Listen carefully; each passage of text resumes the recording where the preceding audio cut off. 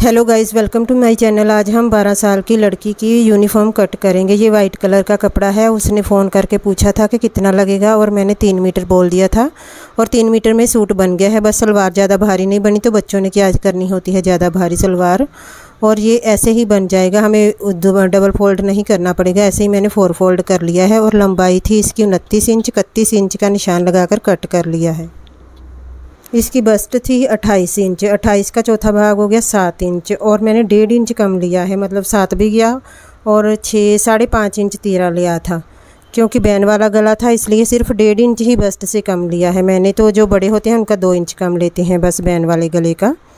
और ये साढ़े पाँच लिया है, नीचे को मैंने छः इंच ही लिया था। पतली सी लड़की है ना, और एक बार गुलाई डालकर और अंदर को पौने इंच का निशान लगाकर दो बार गुलाई डाल दी है। और छः पर कमर लगाया था, लगाई थी और साढ़े बारह पर हिप का निशान लगाया था। कमर थी चौबीस इंच, चौबीस का चौथा भाग हो गया छः इंच। और हिप भी अट्ठाईस इंच थी तो अट्ठाई का चौथा भाग हो गया सात इंच। निशान लगाकर मैं कट कर दूँगी। और ये कपड़ा पूरा सूरा ही होगा, क्योंकि मैंने तीन मीटर ही मंगवाया था, पूरा सूट तो पाँच मीटर का होता है। उन्होंने कहा था फ़ोन करके कि कितना लगेगा उतना ही लेंगे हम। ऐसे ही कपड़ा वेस्ट क्यों करना? और मैंने अब इसको कट कर दिया है और ये कैंची ना, मेरे पास दो कैंचियाँ हैं, एक नहीं चलती, एक चलती है, वो हाथ में आ गई थी जो चल नहीं रही थी। और कंधे आधा इंच डाउन कर दिए हैं, अब एक पल्ला अंदर से निकाल देंगे पीछे का और आगे वाले पल्ले के ऊपर फिटिंग का निशान भी पक्का करेंगे और नेक की भी कटिंग करेंगे। ये बिल्कुल बंद गला है बैन वाला और इसकी कटिंग मैं आपको बताती हूँ कैसे करनी है। पहले आगे की कटिंग कर ली है। मोडे की जो डीप कटिंग करनी है, थोड़ी सी हल्की सी ही हुई है बैन वाले गले की। और ये फिटिंग के निशान भी पक्के कर लेंगे। मैंने ना पिंक कलर का चौक लगाया था तो अच्छी सी आ रही है उसकी। नहीं तो कई चौक दिखाई नहीं देते। ये देखें, बड़ी अच्छे से दिख रहा है। वाइट कलर का कपड़ा है ना। ब्लू मैंने इसलिए नहीं लगाया क्योंकि डार्क हो जाता ज़्यादा। और इधर से मैंने नेक लिया था सवा दो इंच, ऊपर से बैंड वाला गला है ना, गोल वाला। सवा दो इंच और नीचे को तीन इंच लिया था और इसको गुलाई डाल दी है हल्की सी। जू शेप में गुलाई डाल दी है और अब इधर से साढ़े सात इंच का निशान लगाया है मैंने।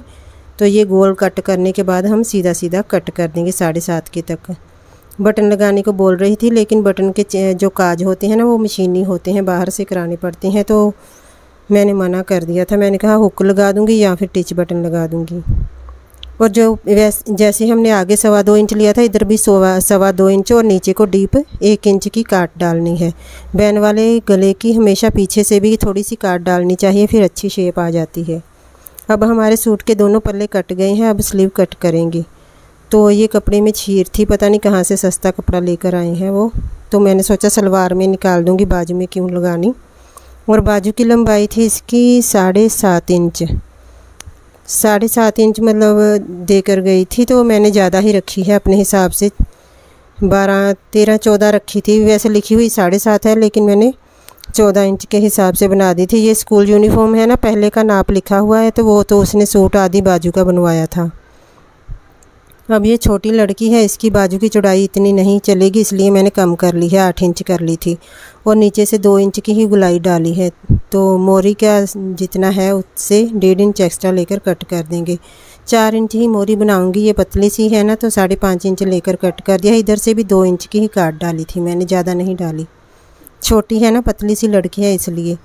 और जो बाजू अगर हम पूरे कपड़े में कट कर देते तो कपड़ा वेस्ट हो जाना था क्योंकि तीन मीटर ही है, हमें बैन लगाने के लिए भी चाहिए। तो ये जो टोटा बचा है, यहाँ से आराम से हमारी बैन लग जाएगी। तो जितना हो सके कपड़ा बचा लेना चाहिए क्योंकि थोड़ा है ना कपड़ा। और मैंने पहले ही चेक कर लिया था कि डबल फोल्ड करके सलवार नहीं बनेगी, इसलिए मैंने सिंगल फोल्ड ही किया है। ये हम ज़्यादा भारी नहीं बनेगी, सलवार वैसे भी बच्चों को ज़्यादा भारी क्या करनी है। सलवार की लेंथ इसकी तैतीस इंच थी और तैतीस में तीन बढ़ाकर हो गया छत्तीस इंच, छत्तीस में नौ आठ इंच निकाले छः उधर से गए, दो उधर से अट्ठाईस इंच का बचेगा हमारा मेथड है जो। अट्ठाईस इंच का निशान लगाना है हमने। और ये डबल फोल्ड कर ली है। कई बार कई बार ना बड़ों की भी कम होता है कपड़ा तो उनके भी ऐसे कट कर लेते हैं। और मैंने आसन सिर्फ़ नौ इंच ही ली थी, इसकी ज़्यादा आगे हम दस इंच लेते हैं ना, नौ ही ली थी। इधर से अट्ठाईस इंच का निशान लगाया। और डेढ़ डेढ़ इंच का लगाया था। मैंने दो इंच का नहीं लगाया। मैंने सोचा पल्ले थोड़े चौड़े डाल देंगे तो थोड़ी भारी हो जाएगी सलवार। और जैसे मैं सेमी पटियाला कट करती हूँ, वैसे नहीं कट हो रही थी क्योंकि कपड़ा कम था ना, इसलिए हमने ऐसे कट कर ली है। ये दो मीटर कपड़े में भी ये सलवार बन जाती है। और ये सीधा सीधा कट कर लेना है। तिरछा निशान लगाया था मैंने। 28 इंच का लिया है मैंने एक कुंदा। तो ये हमारे दो कुंदे कट हो गए। अब दो और कट करेंगे। तो फिर मुझे बहुत चिंता थी कि पीछे कपड़ा बचेगा कि नहीं पल्लों के लिए और बेल्ट के लिए। मैंने बोल तो दिया था तीन मीटर, लेकिन जब सूट कट करो ना तो फिर काफ़ी कपड़ा लग जाता है। शुक्र है इसकी सलवार की लंबाई तैंतीस इंच ही थी, अगर ज़्यादा होती ना। कई बच्चे होते तो छोटे हैं, लेकिन हाइट काफ़ी हो जाती है, उनकी बड़ों के जैसी ही हो जाती है। और ये हमारे चार कुंदे हो गए, इसको अलग भी करना पड़ेगा ना, एक जुड़ा हुआ था और एक तो ओपन ही है, खुला ही है। और आगे से हल्की सी मैंने काट डाल लेनी है आधे इंच की जैसे हम डालते हैं। और ये हमारे चार कुंदे हो गए हैं। अब दो पल्ले चाहिए हमें तो बेल्ट चाहिए बस। ये चार कुंदे साइड पर रख दिए हैं और ये कपड़ा मैंने नाप कर देखा तो शुक्र हो गया, पूरा था। पीछे हमें अट्ठाईस इंच चाहिए था ना तो अट्ठाईस इंच था मेरे पास। तो मैंने छः इंच फोल्ड किया है और अट्ठाईस इंच लंबा लेकर कट कर देंगे। ये हमारे दो पल्ले हो जाएँगे। छः इंच फोल्ड किया है ना ओपन करने के बाद बारह बारह इंच के पल्ले पड़ जाएँगे सलवार के।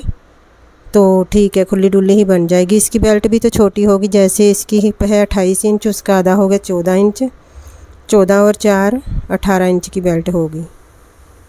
ये 18 इंच का निशान लगाया, छोटी सी बेल्ट बनेगी और जो कपड़ा बचा है वो पहुँचे के नीचे लग जाएगा और गला बन जाएगा हमारा। तो ये छोटा सा सूट था, छोटी सी यूनिफॉर्म अगर पसंद आई हो तो प्लीज़ लाइक कर देना. Thanks for watching